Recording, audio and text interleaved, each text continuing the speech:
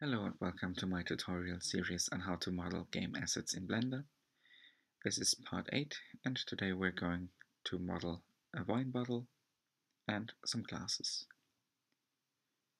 This is the finished model and as always I designed this so you can follow along very easily. First of all let's add a background reference image by pressing Shift A, go to image, then background image.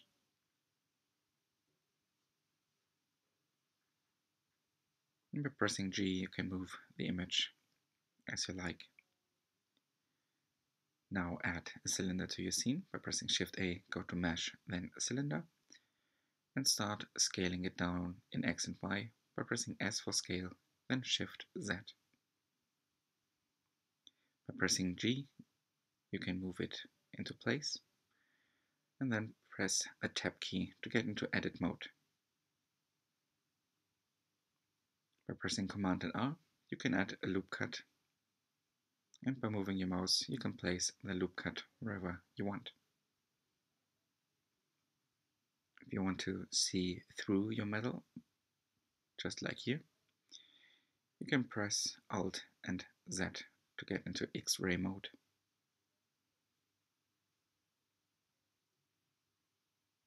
By pressing Alt and left click, you can select this whole face loop here. And by pressing S for scale, you can scale it down. Keep adding loop cuts by pressing Command and R. And by pressing S, you can scale them down or up to follow the shape.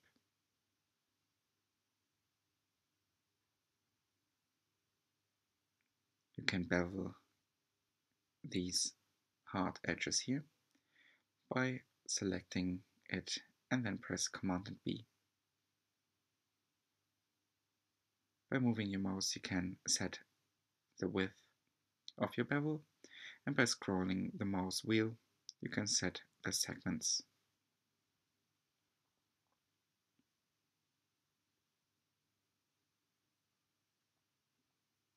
Keep adding loop cuts by pressing Command and R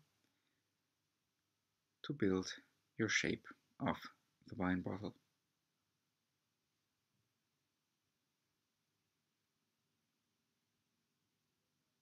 Select this face loop here by pressing Alt and left click, and then press E to extrude, then S to scale.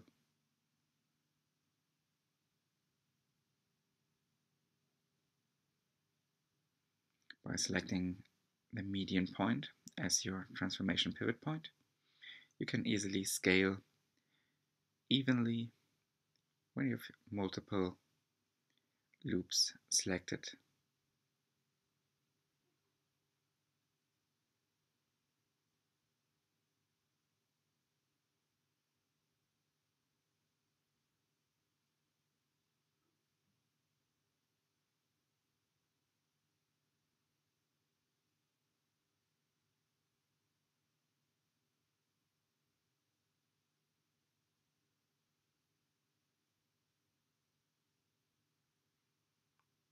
By pressing Alt and left click, you can now select this edge up here and scale it up a bit.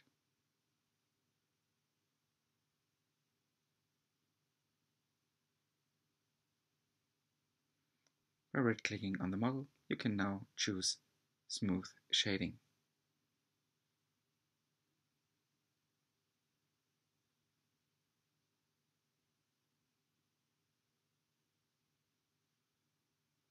Let's focus on the bottom part of the bottle.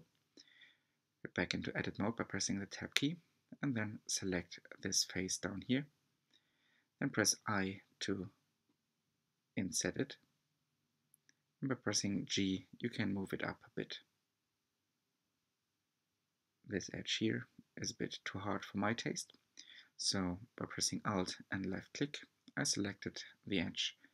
By pressing Command and B you can bevel this. Repeat the inset step a few more times to create this rounded shape here.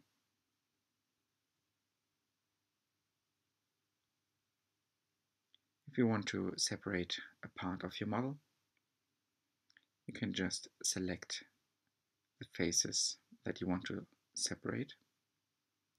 Then right click, go to separate, and then by selection.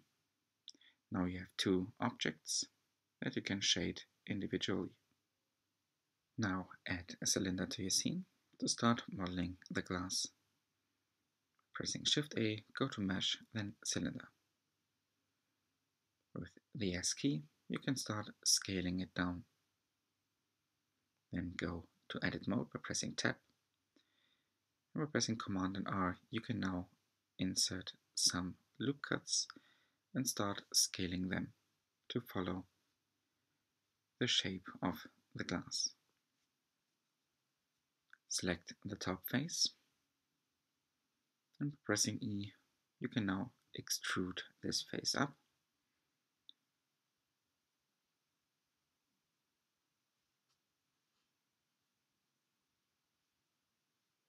now you can just repeat the extrusion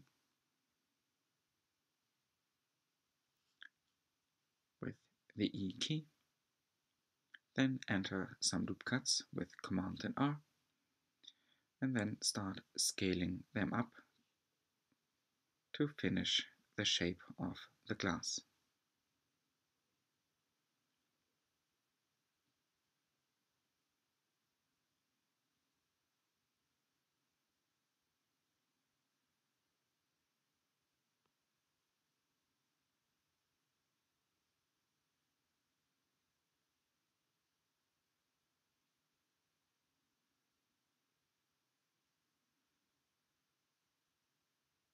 Now for the hard edges, just select the edge by pressing Alt and left click, and then press Command and B to bevel it.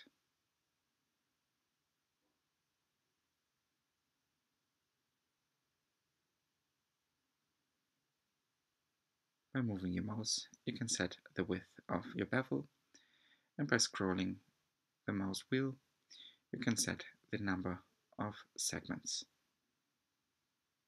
Now go to the top face, select it and press I to get an inset. Now all you have to do is press E to extrude, then Z to move it in Z direction, so down, and repeat the extrusion and moving step and follow the shape of the outside of the glass.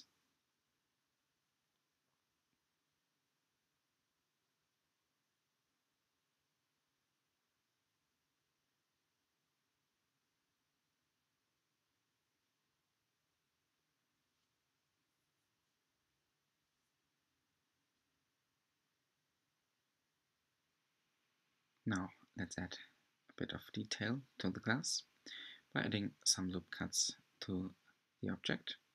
Just press Command and R. Then select some of the loops and start scaling them up or move them around until you have this kind of a lid. Go to modifiers and select the subdivision surface modifier right click on the model and choose Smooth Shading. Now you can add a loop cut to define the form of your model or select the edge, right click, choose edge crease and set the edge value. This way you don't have extra geometry.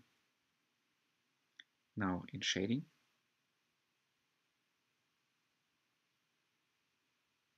we don't need the BSDF shader.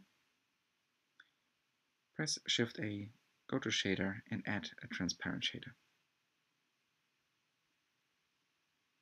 Next thing we need is a glass shader. Add this one too. And now with the use of the mix shader that we can plug in the surface of our output. We can combine these two shaders here.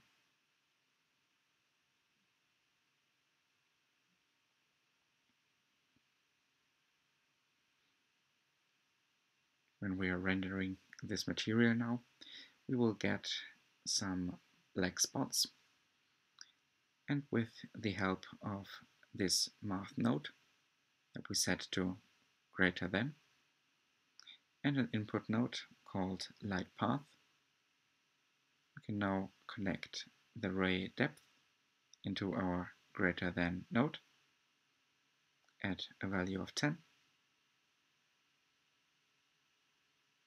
and use this as our factor. So now these black spots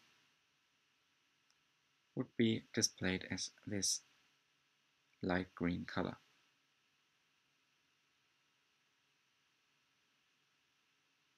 Now select the bottle and give it the same glass material by pressing this small number here. You can convert it into a single user material and just change the color of the glass.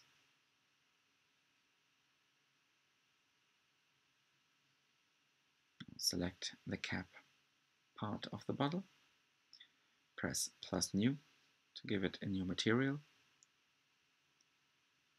and then change the base color. I decided to dial down the roughness a bit more.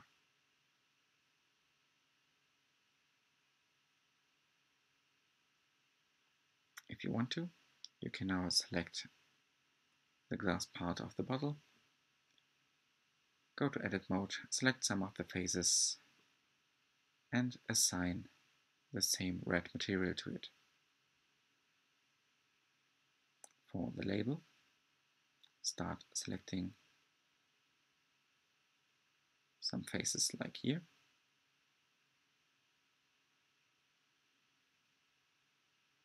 On the right hand side, press the plus and assign. Now we need a new material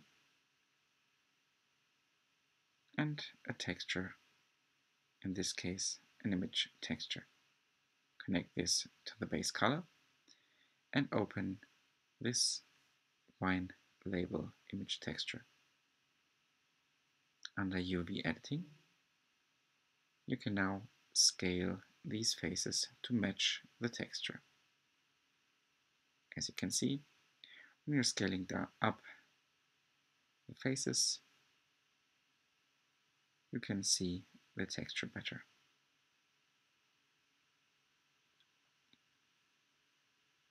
Remember, in UV editing, you scale the x and the y axis, not the z axis.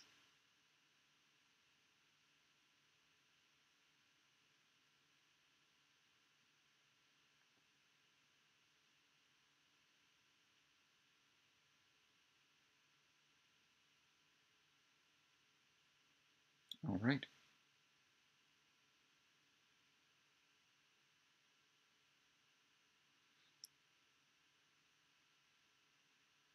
Some of you guys wanted to know how I do this little turning animation.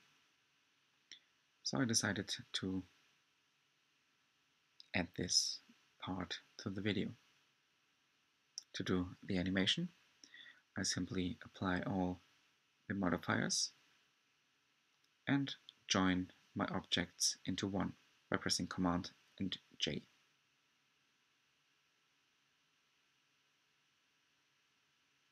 Created this little platform here by using a cylinder.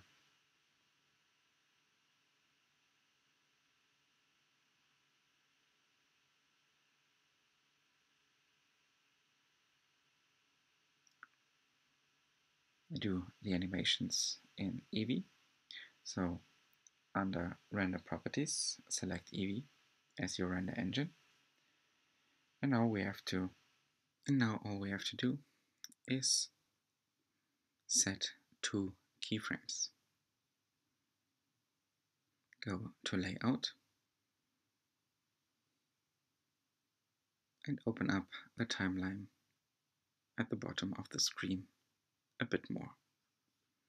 Now select your object and apply all transformations.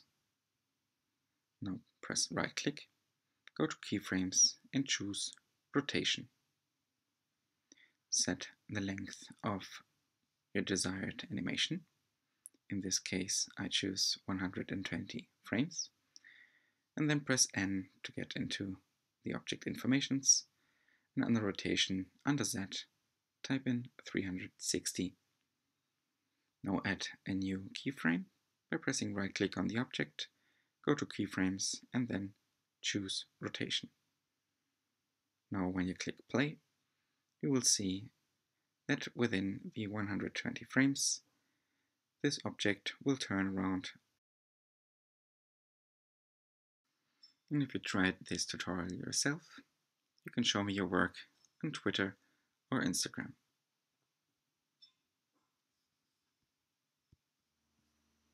If you're new to the channel, make sure to subscribe and click on the notification button to keep yourself updated on new videos and tutorials. Thanks for watching and have fun creating.